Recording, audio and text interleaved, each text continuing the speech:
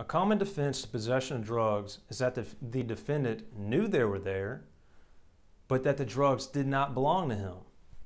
So let's assume that a passenger gets into a car and he's got heroin in his backpack.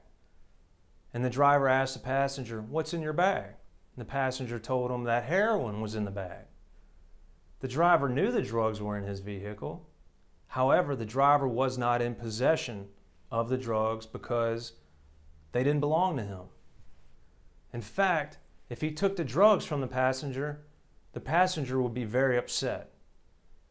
Therefore, the driver had no dominion of control. Compare the scenario to when a lady passenger with a purse gets into a vehicle with a driver. The driver is now not in possession of the lady's purse and the contents.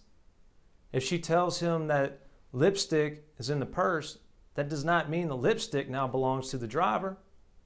What if she tells him that cocaine is in the purse? A defense to possession with intent to distribute is that the defendant possessed the drugs but did not intend to distribute. It was his personal drugs. Important facts to consider here are the amount of the drugs, whether scales, baggies, guns, and or cash would be introduced at trial. If those items will not be offered, the defense may work. It may be beneficial to the client to make the argument that although he possessed the drugs, it was not with intent to distribute. This argument would be made when it is not possible to beat the facts on possession. It is better for the defendant to get convicted of possession instead of possession with intent to distribute. The difference in the sentencing range is quite drastic.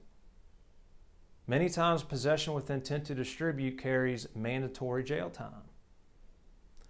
So, if you need a drug charge attorney for your drug charge in Louisiana, give us a call. We handle all types of drug charges anywhere in Louisiana.